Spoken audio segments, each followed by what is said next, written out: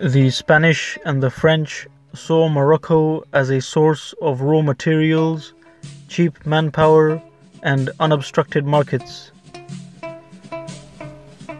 The rich mineral deposits of the Rif Mountains were of particular interest to the Spanish.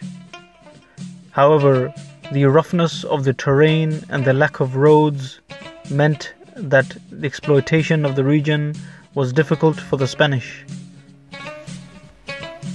Therefore, in order to exploit the Rif region, the Spanish established relationships with tribal leaders.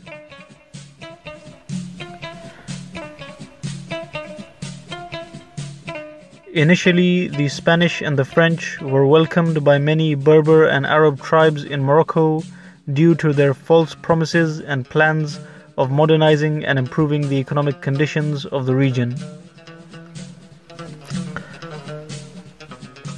However, soon it became clear that the Spanish and French were extremely repressive and brutal and that they had come to Morocco to exploit and enslave.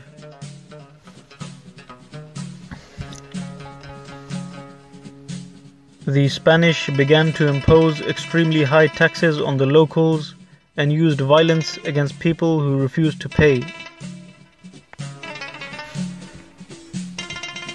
It was not long before the people of Morocco would fight back against the Spanish oppressors. The greatest resistance to the Spanish invaders came from Abdul Karim al Khattabi, Abdul Karim al Khattabi was the son of an influential Berber tribal leader and was also a chief judge and journalist.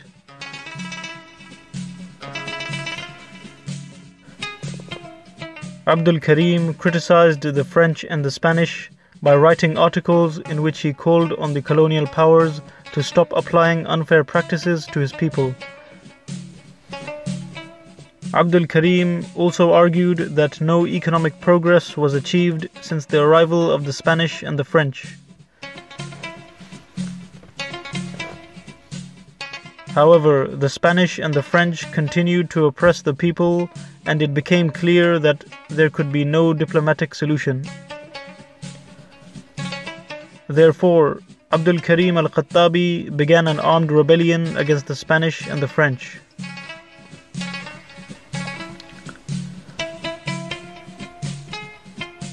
Abdul Karim was a charismatic leader and an impressive speaker, and managed to gain widespread support. He soon began to gather an army and he managed to unite various tribes, ethnicities, and religious groups in Morocco, including Berbers, Arabs, Muslims, and Jews. In April 1921, 50 tribal and religious leaders pledged allegiance to Abdul Karim and declared him their military leader.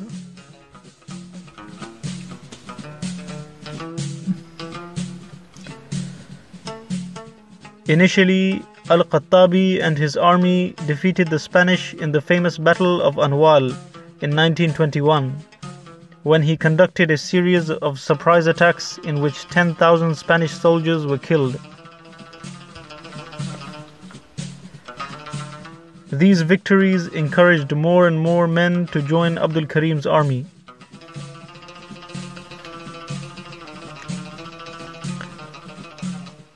Moroccan Jews also contributed to Abdul Karim's cause by helping his army manufacture explosives.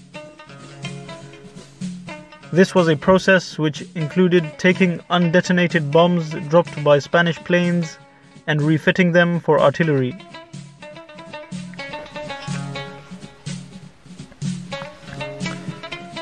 Eventually, the Spanish had to give up one post after another, securing even more influence to Abdul Karim's forces.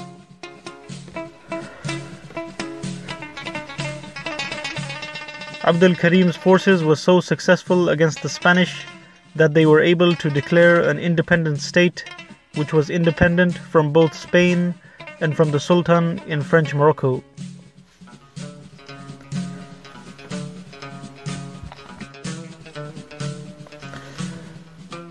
Abdul Karim established a state and governing institutions which collected taxes, enforced laws, and organized an army.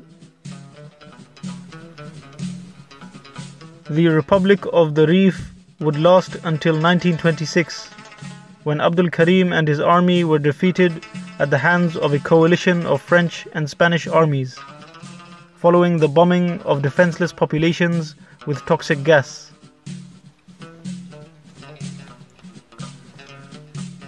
Facing such intense and ruthless aggression that murdered hundreds of civilians, Al Khattabi surrendered to the French army in 1926 and was soon after sent to exile in France.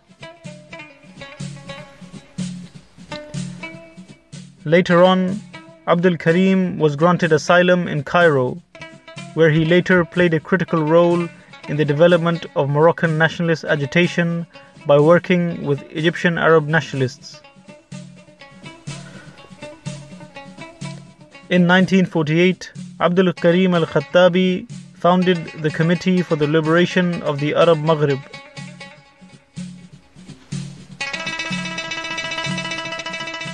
After the restoration of Moroccan independence, King Muhammad V invited him to return to Morocco, which he refused to do as long as French troops remained in North African soil.